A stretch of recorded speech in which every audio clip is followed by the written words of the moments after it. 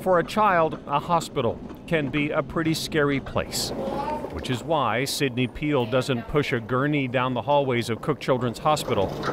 Instead, she pushes a cart full of brushes and glitter. So there's glitter in there. Oh, for sure. Sydney is the resident artist at the hospital. Yes. Okay. Every type of paintbrush, painter's tape, it's got all the colors, sketchbook, funny paintbrushes. Let's see. And then the classics. We've got markers, tempera paints. Oop, I just squirted some. Pushing that cart from room to room, Hi. Oh, hello. Got your paint shirt on? visiting patients like Cadence Mixon Yes. Yay, Cadence! when you're being treated for a heart condition and leukemia at the same time. No paint with your toes too? A few minutes wallowing in finger paint can be the oh, best part of your day. It brings a light to us. It makes Cadence happy, which she's full of joy all the time anyways.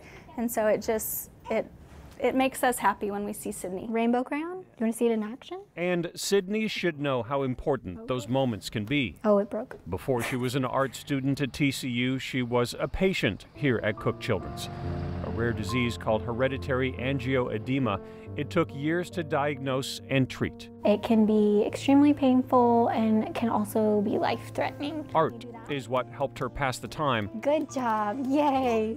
on the most difficult hospital days. You like it? It was something I turned to and gave me hope and gave me something to do and a distraction. I think it's great that I get to do that with kids now. Her art and the work of hospital patients decorates the hallways here.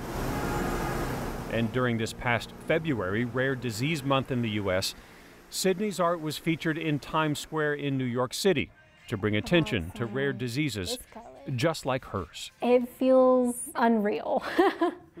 it's one of those things I was like, I don't even think that was something I had dreamed of because it felt too big. I could put them right here. oh, that's cute. But what the patients here will tell you is also big So like that. is the Yes, impact of an artist and a survivor. Just like polka dot. Mm-hmm. We just need two more colors and we're finished. I feel like everything in my life like led to ending up here. Oh, all clean. Whether meeting patients face to face or on the hospital's TV channel, Oh, see, there's the ukulele show. where she spreads her magic too. Today we are going to draw an octopus.